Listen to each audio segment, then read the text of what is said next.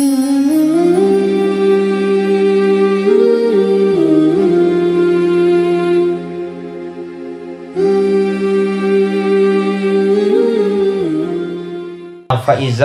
jaa ajaluhum la yastakhiruna sa'ata wa la yastakdimun. Jikalau ajal tiba seseorang maka tidak bisa diundur dan tidak bisa dimajukan. Itulah ketetapan Allah yang tidak bisa dihindari dan tidak bisa dijauhi. Hadirin jamaah takziah sama-sama dirahmati dan dimuliakan oleh Allah. Kematian itu adalah aturan Allah. Ia roh amatingi elo na pungal Allah Ta'ala. Tania elo na idi rupa tawi. Nasabab biningi seandainya kita ini manusia pak seandainya ditanya kita manusia ini makadelo ni gamati jawabat ta pasti de pakilo mati nasaba elo ta. Tapi tani elo ta elo na pungala taala. Jago jago na rupa tawi tapi ketika menghadapi yang namanya kematian dek jago sogi sogi na rupa tawi tapi ketika menghadapi namanya kematian dek sugi deggaga na pasanga di pungalatala sogi kasiasi warani dek na warani. Makunrai orwane fa iza jaa ajaluhum la yastakhiruna sa'ata wa la yastakdimun. Jikalau ajal tiba seseorang maka tidak bisa diundur dan tidak bisa dimajukan. Makanya kepada seluruh para hadirin wal hadirat jamaah takziah yang sama-sama dirahmati dan dimuliakan oleh Allah. Makanya ambil kita ketetapan di muka bumi ini menandakan bahwa kita manusia ini tidak ada yang pantas kita sombong dan banggakan. Betul? Tidak ada yang pantas kita sombong dan banggakan karena semua ini adalah pasti akan mengalami yang namanya kematian. Lo mana ki mati. Tau matan re jabatan na mati. Dek gaga jabatan na mati. Tau sogi mati. Kasiasi mati. Orwane mati. Makunrai mati to. Ustaz E. Ah. Jemun kebi. Ini kalau ceramah. Tapi semua telah diatur dan telah ditentukan oleh Allah.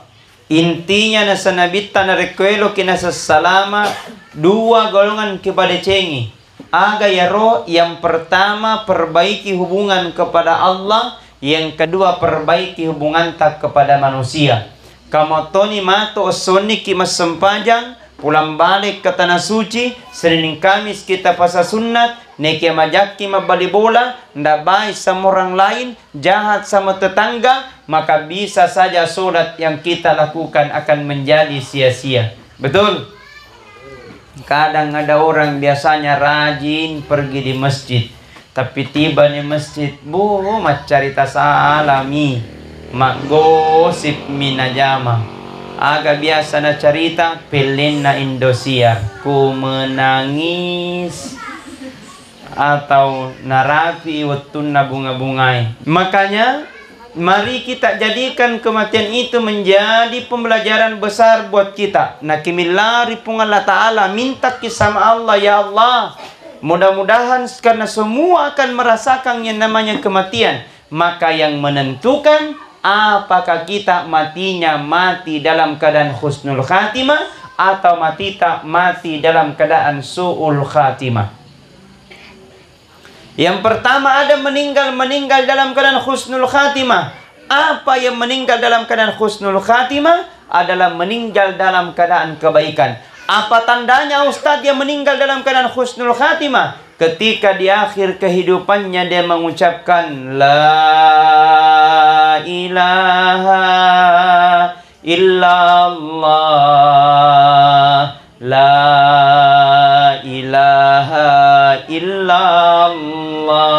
Semuanya bapak-bapak ibu-ibu.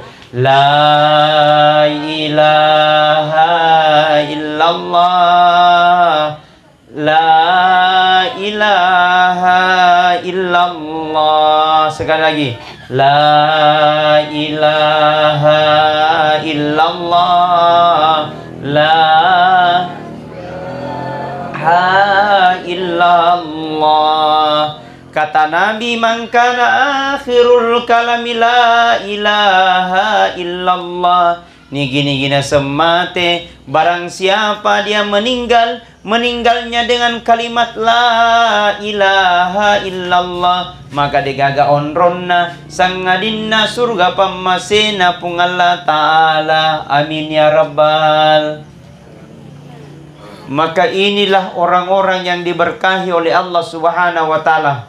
Bagaimana caranya supaya kita minta sama Allah? Eh puang, matikan aku ya Allah. Mati dalam keadaan husnul khatimah. Makanya ketika habis sholat, pura kemas sempajang, jangan langsung berdiri, berdoa dulu sama Allah. Ya Allah, Allahumma inni as'aluka bi husnil khatimah. Coba semuanya. Allahumma inni as'aluka bihusnil khatimah. Ulangi.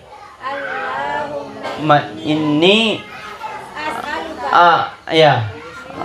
Oh ya, alhamdulillah. Letukmu maka rambamu. Ya, penting desain. Baik. Kita minta sama Allah ya Allah, matikan aku ya Allah mati dalam keadaan husnul khatimah. Matikan aku ya Allah mati dalam keadaan baik. Bagaimana tandanya dia meninggal tadi la ilaha illallah. Tapi Ustaz, ada orang batenya aku bacaan la ilaha illallah, tapi tidak bisa diucapkan. Kenapa? Karena mungkin bisa saja dia dipatak bilin-pilingi pole di setangi. Makanya kata Nabi, narik dirapi otomatis tak menghadapi sakarat, jangan tinggalkan ajak lain. Kenapa? Karena di situ mi puncaknya setan ingin mengelabui orang mati supaya orang mati ini tidak bisa mengucapkan la ilaha illallah. Makanya kata Rasul narik kudirapi otomatis tak menghadapi sakarat. Kata Rasulullah ikra'u mautakum yasin. Bacakan orang dalam keadaan sakaratmu. Bacakan surah ya yasin. Opuang. Kuale pabarakanda bacaan surah sinku na rekomelo kicabu nyawana aku kicabu puan tapi aja kisisai. Jikalau tidak ya Allah sembuhkan dia dari penyakitnya. Jikalau tidak sembuh maka dosanya berguguran. Barakana surah ya Yasin.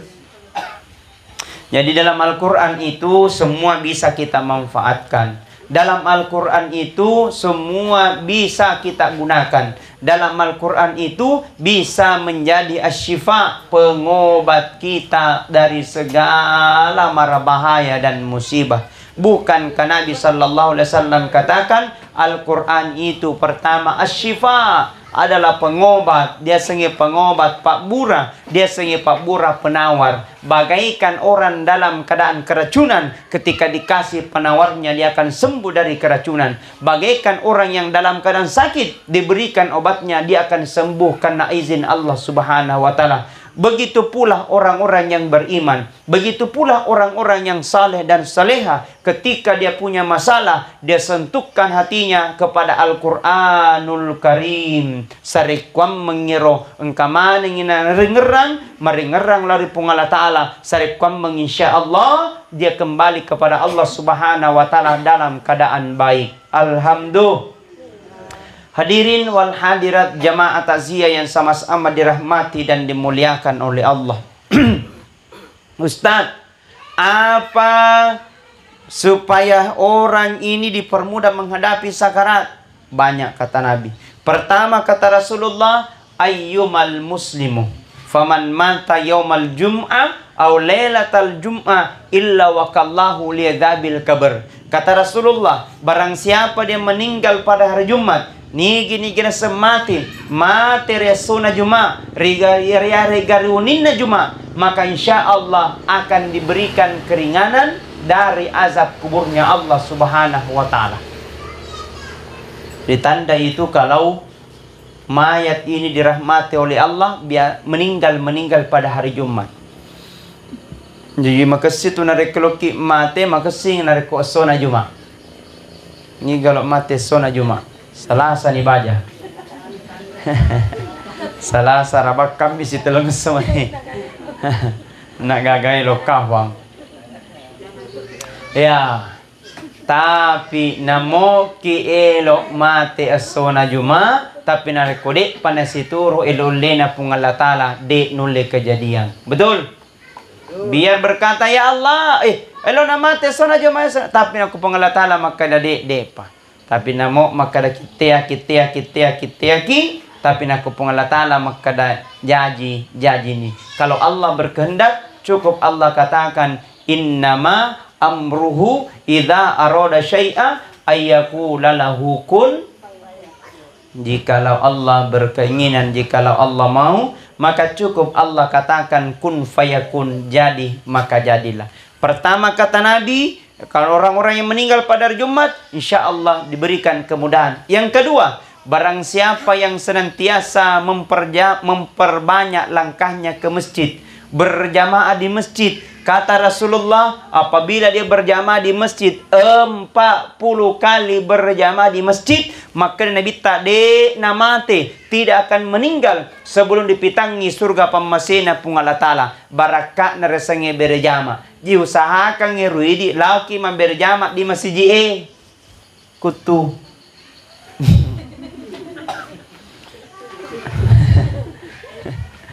Oke berjaman Ustaz sibuk mega urusu. Elok dia aku mega diurusu Kalau memang tidak bisa datang di waktu subuh Datang di waktu duhur. Kormani Tidak bisa datang di waktu duhur Datang di waktu asar. Tidak bisa datang di waktu asar Datang di waktu Mengheribi Tidak bisa datang di waktu mengheribi Datang di waktu Isya Tidak bisa datang di waktu Isya Hmm, masa masuli kuling Lima waktu Allah sediakan. Allah berikan kemudahan. Allah berikan ketenangan. Allah berikan barakah. Ada tidak pekerjaan di dunia ini mendapatkan keberkahan, ketenangan. Ketenangan itu mahal harganya. Ada orang banyak miwangnya, banyak mi mobilnya. Apakah diunsurkan itu menjadi tenang? Oh, belum tentu bos. Betul? Ada orang banyak uangnya mengheto-heto galunna. Apakah dia tandanya mendapatkan kebahagiaan? Oh, belum tentu guys. Kenapa ketenangan yang hakiki bukan karena banyaknya uangnya, bukan karena tingginya jabatan, tapi ketenangan yang hakiki, bahagian yang hakiki adalah orang yang dalam hatinya dipakai untuk senantiasa bersyukur dan memperbanyak sujudnya di hadapan Allah Subhanahu wa taala. Apakah harus bayar uang? Apakah bayar 50 juta, 100 juta? Tidak. Salah satunya untuk mendapatkan kebahagiaan yang hakiki. Kau perbanyak langkahkan kakimu ke masjid. Lakutu. Hmm. Alhamdulillah. Ingat. Ketika Rasul diperjalankan.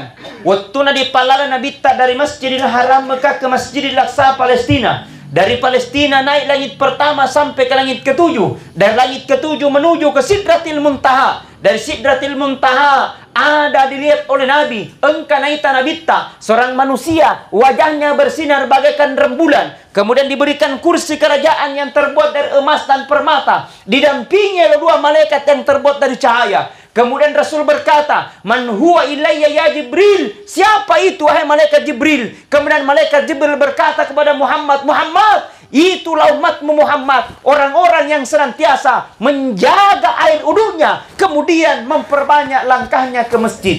Alhamdulillah. Hebatnya itu Pak orang-orang yang dekat dengan masjid. Makanya Biasakan diri. Mari kita senantiasa selaraskan. Mari kita mengucapkan Pak. Lima malam ke depan. Kita akan kedatangan tamu mulia. Lima hari ke depan. Kita akan kedatangan tamu yang sangat istimewa. Siapa itu? Bulan Ramadan. Mari kita bersama-sama mengucapkan. Marhaban ya syahrul Ramadan. Semuanya. Marhaban. Subhanallah. Selamat datang wahai bulan mulia. Selamat datang wahai tamu yang istimewa. Eh, ia ropa tomatorio lota. Narekong kailo tamunna. Apalagi matandre jabatanna. Apalagi engkau keistimewaannya. Tamu-tamu terdahulu kalau mau datang tamunya. Diperbaiki rumahnya. Diganti spraynya pakaiannya. Diganti semua pak. Dipadecengi. Semua disapu-sapu. Karena ada mau tamu yang datang. begitu pula kita orang yang beriman. Tidak lama lagi kita akan kedatangan tamu. Siapa tamu itu? Yakni tamun Ramadan. Tamu mulia yang sangat istimewa. Mari kita mengucapkan, mari kita bersama-sama Pak menjamu tamu tak ini menjadi lebih baik. Karena insya Allah barang siapa yang menjamu tamunya ini menjadi lebih baik. Dia akan mendapatkan pahala yang lipat ganda akan diampuni segala dosa-dosanya oleh Allah Subhanahu wa taala. Ketika Pak Bupati mau berkunjung ke rumah tak, Alhamdulillah merenulak deki karena mau datang Pak Bupati Sinjai. Ketika Pak Ketua DPR mau datang ke rumah tak, Alhamdulillah merenuki. Dia kaburangi bepa makesingi. Dia kaburangi pisang hijau kami nama cantik. Kenapa? Karena mau datang pejabat yang datang ke rumah tak. Tapi mungkin Pak Bupati na janji dengan kebahagiaan insya Allah ini jalan anta atau ini rumah tak mau ku perbaiki renuta pada aga namo Tony nape janji. Tapi ketika ada tamu yang jamin, bukan hanya jalanannya akan dijamin, rumahnya akan dijamin, tapi kehidupannya akan dijamin, mendapatkan kebahagiaan, dijamin surganya Allah Subhanahu wa taala, dijamin ampunan Allah Subhanahu wa taala. Tapi kenapa kita tidak mau gembira? Siapa tamu itu? Bulan Ramadan adalah bulan ampunan bagi kita semua. Masya Allah. Ya saatnya berbenah. Makanya ini sudah masuk. Rajab, Syakban, Ramadan. Nabi sallallahu alaihi wasallam pernah pala eh, pernah berdoa kepada Allah Subhanahu wa taala, pernah minta sama Allah apa doanya? Allahumma barik lana fi Rajab wa Syaban wa balikna fi Ramadan. Ya Allah berkahi kami pada bulan Rajab sudah dilewati Isra Mi'raj. Masuk Syaban, bulan Syaban wa balikna fi Ramadan. Pelentukah kasih bulan Ramadan. Sampaikan aku ya Allah sampai pada bulan Ramadan. Syaban akhir. Makanya hati-hati makanya kemarin ada nisfu Syakban. Di situ nisfu Syakban kita banyak-banyak berdoa, kita banyak-banyak bersolat, kita banyak-banyak bertahajud kepada Allah. Ketika masuk nisfu Syakban, maka tidak ada lagi kewajiban-kewajiban puasa bisa kita laksanakan. Maka bagusnya nisfu Syakban itu masuk pada satu Syakban sampai 15 Syakban. Setelah 15 Syakban tidak ada lagi puasa kecuali bagi orang yang belum membayar fidyahnya kodaknya ada yang dilewati puasanya tahun lalu belum dibayar. Nah masuk ini puasa Syaban bayar memang makin cepat. Wanti-wanti sebelum masuk Ramadan. Jadi bagaimana nih Ustaz? Narik kupunan rapi bulan Ramadan. Ternyata memang lupa karena banyak kesibukannya. Mereka urusu. Narapi bulan Ramadan belum pindah bayar. Ah sesudah Ramadan nanti di bulan Syawal ganti memang maki supaya tidak dilupa-lupa. Supaya masih ada juga hawa-hawa puasa yang telah lalu. Ibu-ibu aman tidak ada kalata toh? Alhamdulillah. Bapak-bapak? Hmm. Hmm, hmm, hmm, hmm. hmm.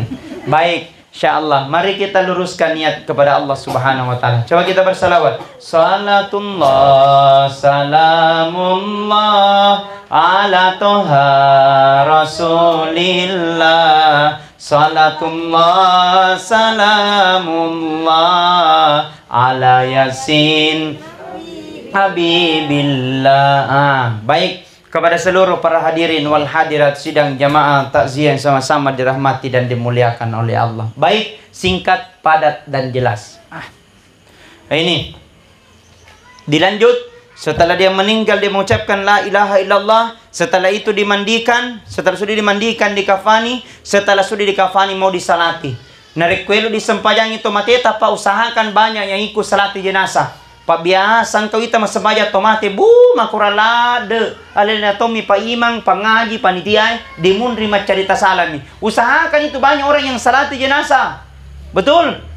Aja kimat cerita salah. Makanya kalau ada panitia tabe yang belum berwudu silakan berwudu maki karena jenazah mau disalati. Makanya saya berani sam sampaikan kalau ada orang meninggal apalagi dekat dari masjid lebih baiknya disalati di masjid supaya banyak orang yang salati. Maka Nabi tani gini kita sempajangi to mati tak patah puluh atau sempajangi empat puluh orang yang salati maka insya Allah diberikan kemudahan oleh Allah Subhanahu wa taala orang ini diberikan kemudahan menghadapi pertanyaan mungkar wa nakir. Usahakan Gampang sekali ji. Ya kalau kita baca tomate gampang sekali empat kali takbir.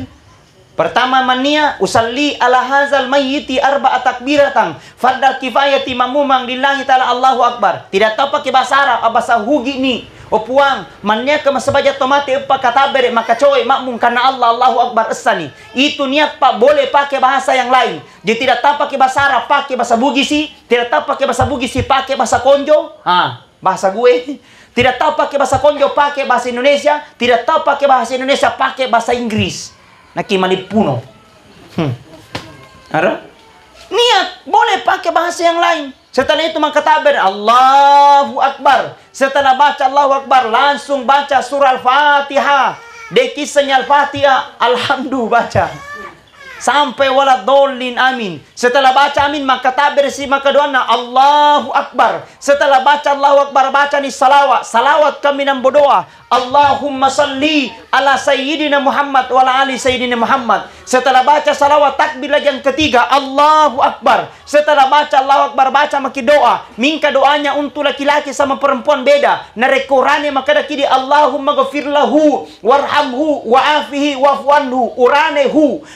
Nareku rai Allahumma ghafir laha warhamha wa'afiha wa'fuanha. Jadi membedakan itu laki-laki hu perempuan ha bencong iha. Adeka.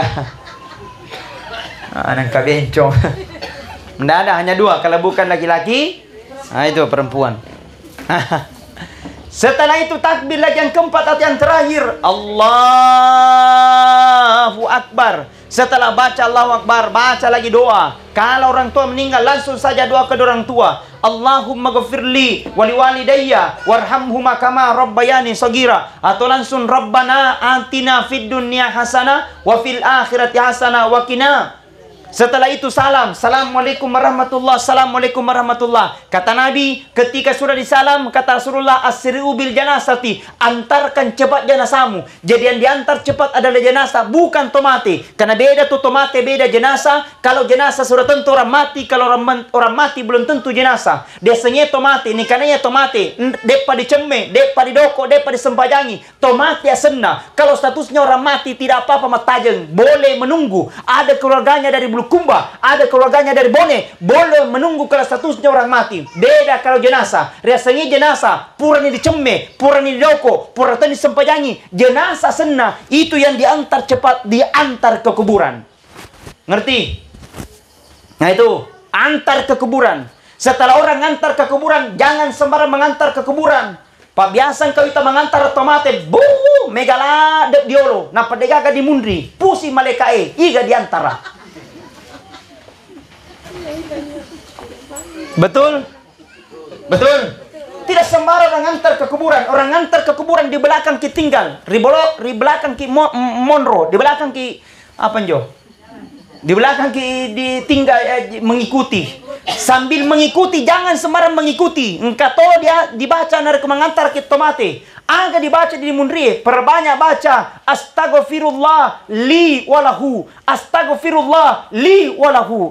Tapang ka makada ustaz, salit di televisi, la ilaha illallah, la ilaha, dia nama gaga.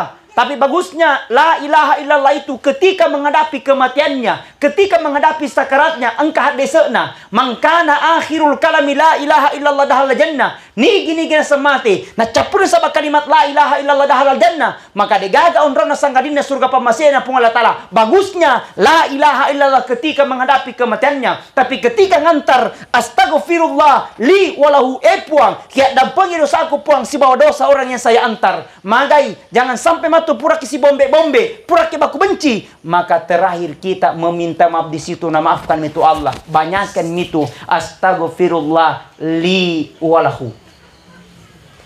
Antar ke kuburan. Roh, setelah diantar ke kuburan, mau masuk ke pintu kuburan, aja langsung ke tama-tama. Engkau tu ada nak koro. Peko ke caranya Ustaz, mabiri seleng nyolo. Aga dibaca. Assalamualaikum ya ahlal kubur wa insya'illahi lahikun. Yang dibaca. Di diseng terakhirnya cukup Assalamualaikum ya ahlal kubur. Aro? Dito diseng terakhirnya cukup Assalamualaikum. Dito diseng Assalamualaikum. Aja ni kitu. Pacapu data. Anan kabuntu kali ya dia. Itu umpama umpama umpama. Baik. Hadirin wal hadirat sidang jamaah takziah sama-sama dirahmati dan dimuliakan oleh Allah. Pertanyaannya ketika kita diantar ke kuburan, nah kau diantar kita di kubur we, nah sanabita telun rupa itu mantara ki agamiro. Yang pertama kata Rasulullah adalah keluarga, yang kedua kata Rasulullah harta jika ada, yang ketiga kata Rasul amala. Nekali dua di pulang dua tinggal satu. Apa yang pulang? Pulang keluarganya, pulang anaknya, pulang cucunya. Satu yang tinggal amal perbuatan yang pernah dilakukan hidup di dunia. Makanya selama hidup apa dia cengeng memang ni. Selama kita berbuat baik memang maki. Al-Quran katakan Alladhi khalaqal mauta wal hayata liyabluwakum ayyukum ahsanu amala. Telah aku ciptakan kehidupan dan kematian itu liyabluwakum hanyalah ujian bagimu. Jadi ketika Allah kasih jabatan santai saja, ndak usah kita lalu gimana gitu. Betul? Hidup sederhana, biasa saja. Nah bilangi falsafat orang Bugis pak. Saya ini besar di Bone, 6 tahun di Bone. Kemudian lanjut di pondok pesantren Asadia Singkang 9 tahun. 15 tahun berpisah orang tua. Nah bilangi falsafat orang Bugis tanah Bone. Anak ambil ko sifatnya itu garam. Allah ko sifatnya peje. Kenapa itu garam mana? Itu garam masempu nama ruah. Sepuluh sebuah dele di pasak bekeru. Bu, si gopo. Betul? Tapi coba lihat itu garam anak. Biar bagaimanapun enaknya masakannya sayur. Tapi kalau tidak ada garamnya tidak terasa itu masakan. Biar bagaimanapun enaknya masakannya kondro dan coto. Tapi tidak ada kolega kepejena tidak terasa itu masakan. Artinya na itu garam sederhana. Itu garam masempu nama roa. Tapi dek na jaji na kodega garamnya. Anakku, anakku sifat na peje. Sederhana. Sederhana mapau. Sederhana bicara. Sederhana berkada. Sederhana berpakaian. Sederhana berkendaraan. Tapi na kodega ki disapa. Engkau mau tahu sedega disapai. Tege ponganu. Tege pongaji. Tege. Karena kalau datang bagus perasaan. Tapi engkau meto tahu asal engkau bu mapakiring-kiring. Eh, aja namun kecilaka. Betul. Maka hidup di dunia hanya sebentar ada kalanya dan ada masanya. Di setiap orang ada masa, di setiap masa pasti ada orangnya. Maka selama Allah masih berikan pilihan kehidupan, maka gunakan itu untuk bermanfaat untuk orang lain. Khairun nas yang faulin nas. Si kesi kesina tahu adalah bermanfaat untuk orang lain. Kita datang bertaziah malam ini kata Nabi, barang siapa dia melekatkan kakinya untuk mendengarkan ceramah taziah, maka semua materi yang dilewati, apakah dedaunan, apakah bebatuan, apakah kerikil, semua materi yang dilewati akan menjadi saksi nanti di akhirat kemudian. Alhamdulillah. Bayangkan nih rupa daun-daunnya, bu, rambutan ke mana nih rau? Hmm, ada semua, mungkin menjadi saksi. Yang kedua kata Rasulullah, barang siapa dia duduk, nih gini kita tudang barangkali ceramah. Barang siapa dia duduk mendengarkan ceramah sampai selesai ceramah itu, maka duduk-duduknya kata Rasulullah lebih mulia daripada sholat sunat sebilangan rakaat, seratus rakaat. Karena pura masa baca sunat seratus rakaat. Ah, napa namanya Arwah lagi neraka biasa moro-moro. Yang terakhir, ada mentong malaikat kata Nabi. Engkau mentong malaikat kata Nabi mengelilingi bumi ini. Semua yang dilihat malaikat akan dilapor kepada Allah. Ya Allah, lapor, agak tumai. Ada di situ ya Allah pertemuan. Di mana letaknya? Di Indonesia puang. Tiga tujuan di Indonesia. Bilang di Kabupaten Sinjai. Di mana letaknya Kabupaten Sinjai? Bilang pas di Bekeru. Cocok ini Bekeru. Di mana di Bekeru? Jalan. Ah. Ah, bonto beda. Apa dia lakukan malaikatku? Dia duduk bertasbih menyebut namamu ya Allah. Apa dia baca? Dia baca tadi subhanallah. Dia baca alhamdulillah. Dia baca la ilaha illallah terus. Dia minta dua kepadamu puang. Minta dua, dua, dua kuidi puang. Apa dia minta malaikatku? Dia minta kepadamu ya Allah. Tempatkan aku ke dalam surga. Karena surga itu tempat yang paling indah. Terus yang kedua. Jangan kau tempatkan ke dalam neraka. Karena neraka tempat yang paling hina. Berkata Allah kepada malaikat-malaikat. Jangan kau tinggalkan tempat itu sebelum yang datang pada malam itu. Ku terima doa-doanya dijabah oleh Allah Subhanahu wa taala. Amin. Maka minta barakah, minta-minta keberkahan. Ya Allah, mudah-mudahan Kau berikan kami keberkahan, berikan kami ketenangan menyambut bulan suci Ramadan dengan kebahagiaan, menyambut bulan suci Ramadan dengan kesederhanaan dan keimanan kita kepada Allah. Mudah-mudahan Allah tinggikan kita, Allah angkat derajat kita, dan insya Allah kita termasuk sebagai hamba-hamba yang beriman dan bersyukur di sisinya. Amin. Ya Rabbal Alamin. Sekira itu tadi yang saya sampaikan. Mudah-mudahan ada manfaat. Mudah-mudahan ada maghfirah yang diberikan oleh Allah Subhanahu Wa Taala kepada kita.